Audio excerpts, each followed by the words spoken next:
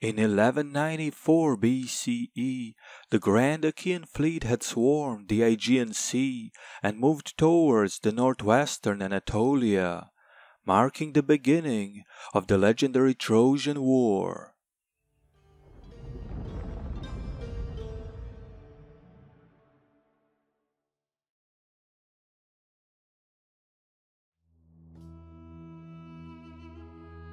Before reaching the region of Troy, the Achaeans took the nearby island of Tenedos, which was accomplished by defeating the king Tenes, who was slain by Achilles. The Achaean prince of Meliboea, Philoctetes, was bitten by a snake, which caused a bad smell coming out of the wound. The Achaean seers obviously saw this as another sign of gods and Philoctetes was ordered to base himself at the nearby island of Lemnos and stay there with a few of his followers, separated from the rest of the army. This Philoctetes possessed the bow and arrow of Heracles, given by the legendary hero to Philoctetes' father in the past. It was said that Troy could not fall without the weapons of Heracles, a man who had sacked the legendary city in the past. Everything was now ready for the Achaean invasion of the Trojan coast. The Trojan defense was commanded by Hector, who sallied out with his warriors and prepared for battle.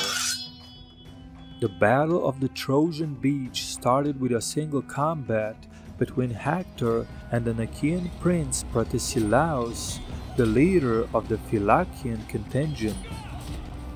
The Trojan leader quickly demonstrated his prowess as Protesilaus was defeated and slain. A very tough battle followed where numerous front-line Achaean warriors had fallen. Ultimately, the Greeks managed to push the Trojan army away and successfully occupied the coast of Troad. The Achaean war camp was quickly ordered to be built in the close proximity of the beach, with the walls and trenches being set up to protect the new Achaean base of operations. This was a massive blow for the Trojans, who now had an enemy camp installed just a few miles from their city. The second Trojan attack soon followed, with the significant losses on both sides. Achilles managed to distinguish himself in this battle, routing the Trojans with his Myrmidons. He met face to face with Cycnus, a Trojan captain and the ruler of the city of Colonae. The Greek hero emerged victorious, killing his Trojan enemy. Ultimately, the Trojans were defeated and were forced to flee and withdraw inside the safety of their walls. The Achaeans were now able to seize control of the entrance of the Dardanelles, while the Trojans still controlled the narrow point at Abydos and Sestos, keeping their supply routes with Europe intact, as well as maintaining communications with Inner Asia Minor to the east. The Greeks were now in a strange position, still unable to decisively defeat or completely besiege the Trojans despite proving to be superior on the battlefield. The walls of Troy were considered impregnable and were so impressive that they were said to have been built by gods Poseidon and Apollo themselves. It was clear that the war would not end quickly, and the only logical thing that the Achaeans could do next was resort to fighting the Trojan allies. In the following months and years, the Achaean army was not able to lure the Trojans into an open battle. The Achaeans then split into various contingents directed towards the allies of Troy in Asia Minor and Europe.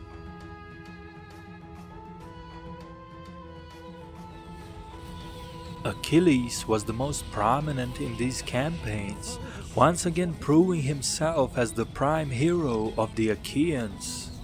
The city kingdom of Dardanus was located to the north of Troy and its forces were a part of the Trojan army. Achilles' Myrmidons proved to be supreme on the battlefield once again, but were not able to break into the city. Instead, Achilles raided and pillaged the area, eventually turning his attention southwards. Together with another Achaean contingent, Achilles invaded and seized the city of Colonae, the same city whose ruler, Cycnus, was previously killed by Achilles in the Battle of the Trojan Beach. Achilles and his soldiers then proceeded further south to Pedasus, which was captured after a short battle. After seeing one city fall after another, a Trojan contingent was dispatched under Troilus, a Trojan prince and the son of Priam. Obviously, this was a mistake, as young Troilus nor his army were no match for the experience of Achilles and his companions army under Troilus was ambushed and killed by Achilles and his men, causing another significant blow to the Trojans. The Trojan possessions in the south were now left unprotected and Achilles moved towards the Gulf of Adramyttium. The city of Thebai was conquered virtually unopposed. Among the captured was Chryseis, a daughter of a leading Trojan priest, which was awarded to King Agamemnon. Achilles then attacked the city of Lyrnessos, but faced resistance led by its king, Mynes. Ultimately, the Lyrnessenians could not hold the Myrmidons for long, and any resistance was soon crushed, with King Mynes being among the fallen. The late king's wife, Briseis, was captured by Achilles as a spoil of war. Achilles also managed to capture Lycaon, one of the sons of Priam, and sold the Trojan prince into slavery on a market established on the island of Lemnos. The island was basically controlled by the Achaeans, with the Achaean prince Philoctetes still stationed there because of a snake bite. Achilles would continue the successful campaign capturing the island of Lesbos and then organizing an expedition into Maeonia, one of the most important Trojan allies. In the meantime, Ajax the Great was in charge of an expedition into Thracia, where King Polymestor was a ruler.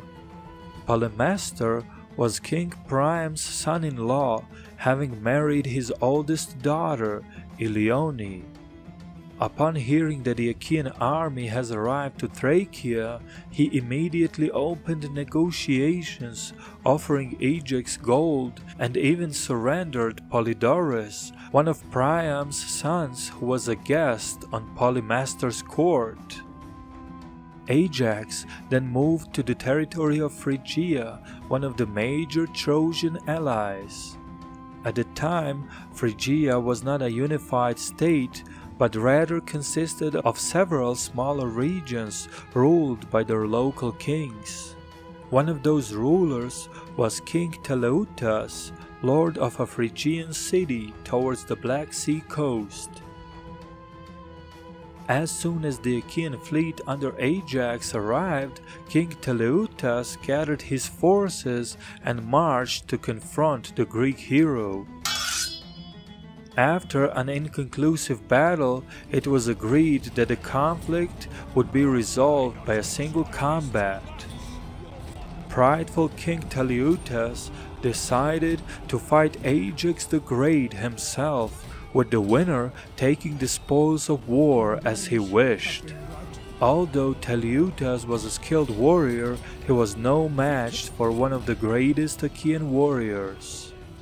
Ajax emerged victorious, killing the Phrygian king and taking his daughter Tecmessa as a trophy.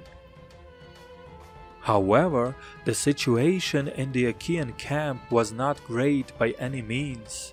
General lack of resources and nine years spent in foreign land left many of the Achaean soldiers deeply unhappy.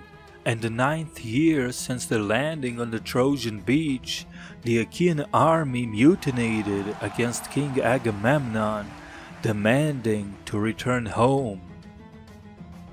Please consider subscribing and sharing the video as this is a one-person production and it greatly helps the visibility of the channel.